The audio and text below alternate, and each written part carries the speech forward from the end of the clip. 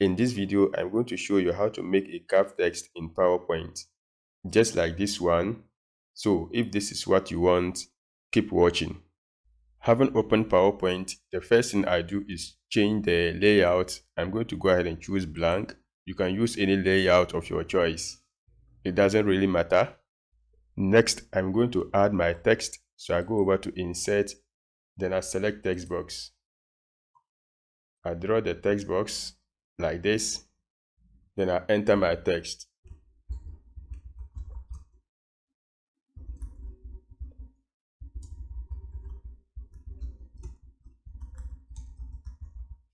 Carve text effect in PowerPoint.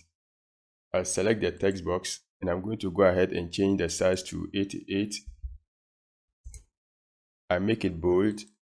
You can choose whatever font you want. I'll just leave it as the default font that is Calibri let me open up my text box so that I'll have it in two lines.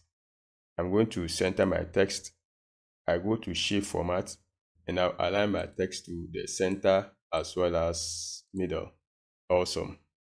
Next, I'm going to insert a wooden background image. I go over to insert pictures, this device, and this is the image I want to use. I select it, then I click on insert. I've downloaded this image from pexels.com. I'll leave a link to it in the description down below. It's a royalty-free platform where you can download videos and images. I just resized it to fit my slide like this and I want to send it to the back. So I click on send to back. Now I have my text in front. I select it, then I make sure the text box is selected like this now I'm going to give my text a fill color. So I go over to shape format Under text fill. I'm going to go ahead and use the eyedropper and I'll choose a color from my wooden background. So I click in here. Awesome. I'm also going to give it an outline. So I go over to text outline. I select the eyedropper and I'll select a different variation of the previous one like this.